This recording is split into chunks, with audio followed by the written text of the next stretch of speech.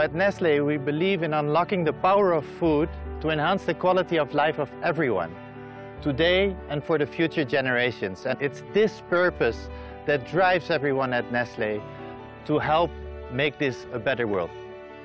We make this a reality through this model we developed, which is called REAL, and it stands for Realizing Empowered African Livelihoods. We focus on young people. We enable them to develop the right and the necessary knowledge as well as abilities to create this sustainable way of farming. With our real model, we're really making an impact in everyday life by sourcing the right ingredients from our farmers, helping to develop the community and society, as well as Nestle, and making a real positive impact.